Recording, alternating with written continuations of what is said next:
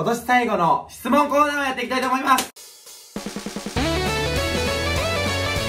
セカンド。それいたらスタート。関でーす。はい。今回はですねもうすぐ今年も終わるということで。寂しい。寂しくもないよ。来年が来るからねまたね。はい。今年最後の質問コーナーをやっていきたいと思います。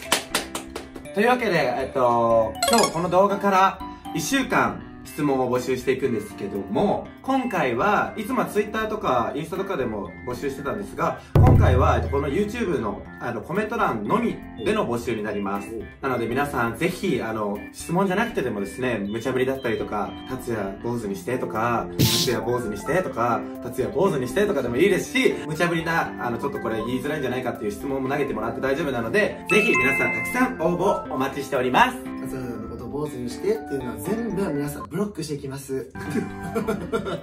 はい。ね冗談はさておきね、質問など無茶ぶりなどど。どんどんどんどんね。今から1週間っていうことなので今日26日なので1回の11時59分までね、はい。募集しますので。まあねみんなこれからねどんどんどんどん寒くなりますので暖かくして風邪ひかないようにしてまあねくれぐれもお酒の飲みすぎは気をつけてくださいましお前が言うなお前酒飲みすぎてこの声だろってということでチャンネル登録高評価 YouTube のコメントそして Twitter のフォローとインスタフォローよろしくお願いいたします。お願いします。ということでセカンドストリート達也と。ゆきでした。ありがとうございますみんなぜひどしどしお待ちしております。何でも来いって感じ。今年最後の質問コーナーだよ。